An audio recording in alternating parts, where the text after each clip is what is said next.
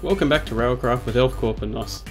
Today we're going to be looking at all the steam powered devices because we've got our high pressure boiler ready to start raging. We've got a bit of creosote to, well, to kill the animals with, or to destroy the atmosphere with, and we're ready to go, or something.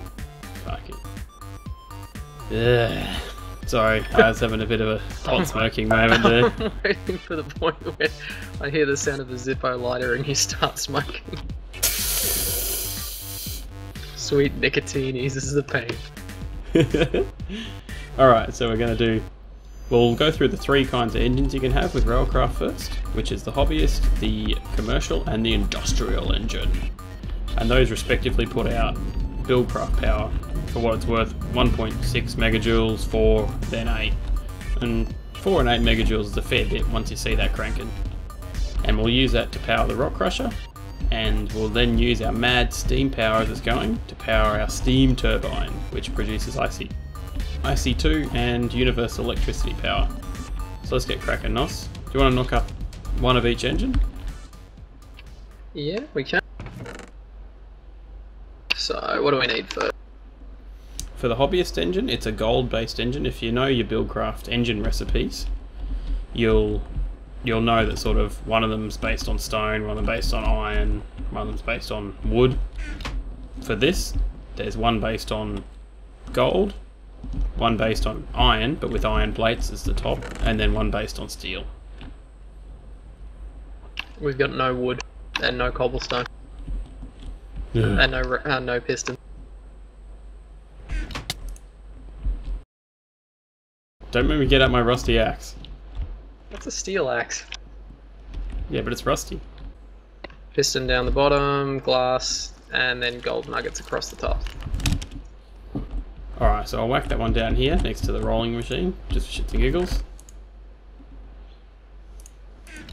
So you fuel that with a solid fuel. In this case, I'm going with coal coke because that's not a bad alternative to coal. It's double the double the output power. You need to fill them with water. They must always have water. If they don't, then they will eventually explode. If you try and put water in it after it's empty and hot, they will explode.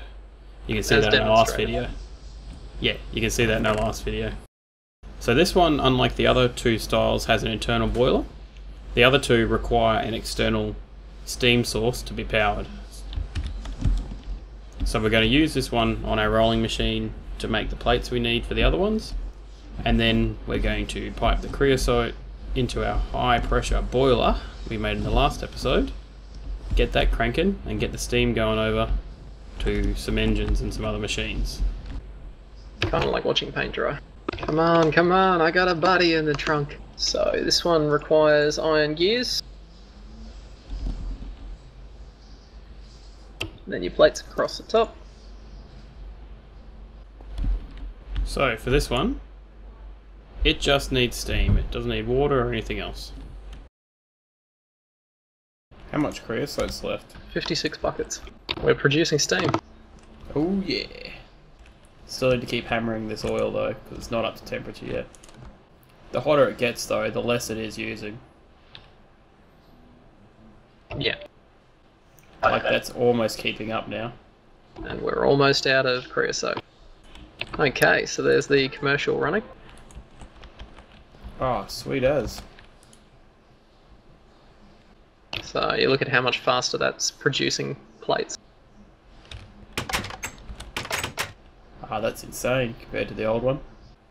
Yeah, but that's outputting 4 MJ.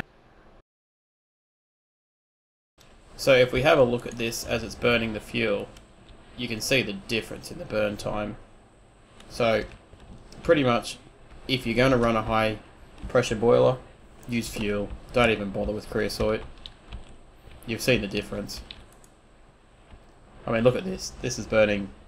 Well, the official figures are for fuel, you get 96,000 steam per bucket of fuel you get 3200 for creosote. So, do the maths, it's like 30 times better. And this system's easily keeping up with that now. So for a rock crusher, the whole idea is that you crush rocks.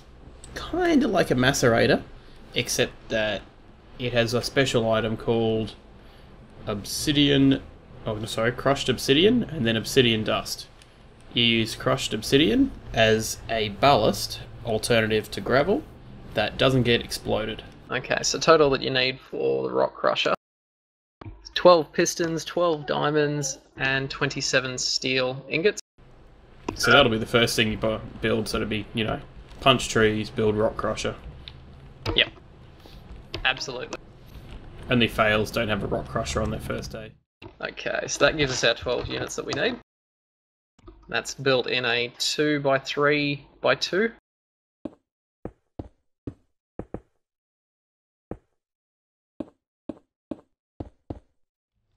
Okay, so we got the rock crusher placed. We'll put an industrial engine beside it to power it. And you'll see the rock crusher, it's just got a 3x3 in, 3x3 out, so it's not too complicated. And it runs off of Buildcraft power, so we've got the industrial engine going. Now, the industrial is the top tier engine, whereas this one produces 4 megajoules per tick. This one produces 8. You've got to have a pretty kicking boiler to, to feed it, but that's exactly what we've got. So we'll grab some obsidian and we'll chuck it in and we'll see what happens. Awesome cobblestone. Oh, if you want to be that guy. Now it's not quick, so if you've got IC2, use your macerator for cobble. The thing is, it's also consuming um, steam from the other one. So what we might do, we might run a second steam pipe from the from the broiler to that engine. All right, so that should have a better feed because now before it was getting split. Yeah, there we go. Is that keeping up now? Yeah, it's almost 8. Seven and a half. All right, cool. So if we want to chuck some obsidian in here, all right, so we'll chuck some obsidian in, and off that'll chug. It uses a lot of power and makes a really cool noise.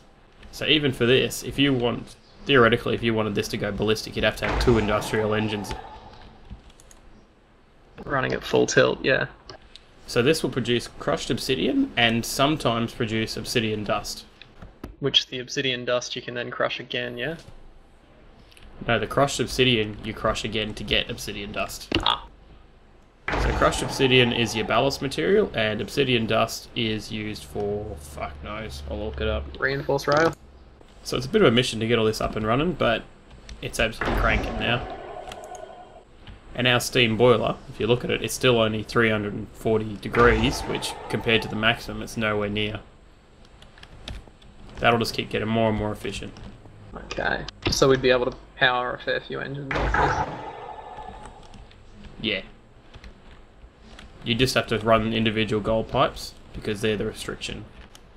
Okay, so we'll get started on the Ooh. steam turbine now. Yeah, sorry, I didn't actually mean to hit you there. That was, for once, an accident. First time ever. The next one we're going to look at is a steam turbine. Now that produces industrial craft or universal electricity power, and again that's using steam, drives the turbine, and then creates power. You know, just like any kind of power plant, really. So for that, you need a crap ton of mats. It's not cheap. Is that the technical term? Yeah, I um I've made one of these vanilla, and yeah,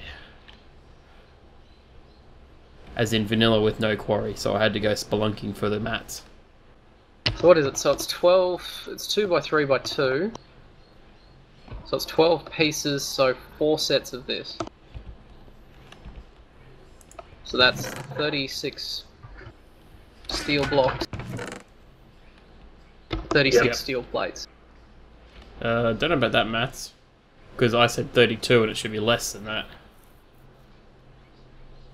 Just make a heap up and you'll see how you go. Steel blocks you can recycle. And we've already got Sorry. 50 steel plates. 16 steel blocks. You've got all the mats in the chest there for that. Uh, so there's your blocks. Now you've got to make the turbine, which is more steel. Which requires turbine blades to make a turbine rotor, and then you put them together and make something else.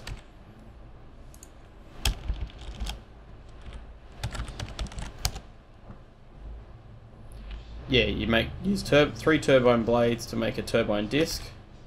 Sorry, eight turbine blades and a block of steel to make a turbine disc. And then three turbine discs to make a turbine rotor, and they last a couple of days. Real time at least. Yeah. That's if it's running all the time. That's a ridiculous amount of steel. So we're we're creating more steam than we can use or handle. So this is where we'd be converting it. Okay. So there's the steam turbine hooked up. Okay, so we'll make the blades first. Okay, turn the blades around a block of steel into the turbine disc. And then three turbine discs makes your turbine rotor. Cool. So we'll plonk that in the steam turbine. And off it goes. Now we don't have IC2 installed on here, so you'll have to use your imagination that there'd be a wire hanging off of that. It requires 320 steam per tick in, but it creates 100 EU per tick out. 100 EU per tick is... Well, it's sort of a half decent nuclear reactor. Probably a four stick, four uranium rod reactor. To kind of put it in perspective. So it's a fair bit. And that uses not as many mats, but you know, this is the alternative. Especially if you don't have IC2 or something like that, this is where you get mass BC power from. So yeah, that's all of your steam consumers. Next time we'll be looking at using our crushed obsidian and relaying track and undercutting track using the little carts they use. So until then, see ya. So yes.